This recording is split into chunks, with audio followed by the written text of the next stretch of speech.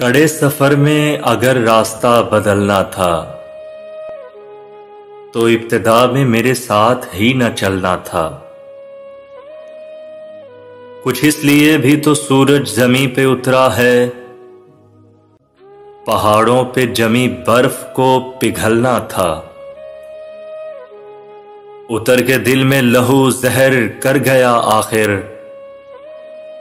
वो सांप जिसको मेरी आस्ती में पलना था। ये क्या के तोहमतें आतिश फिशा के सर आए? जमी को यूँ भी खजाना कभी उगलना था।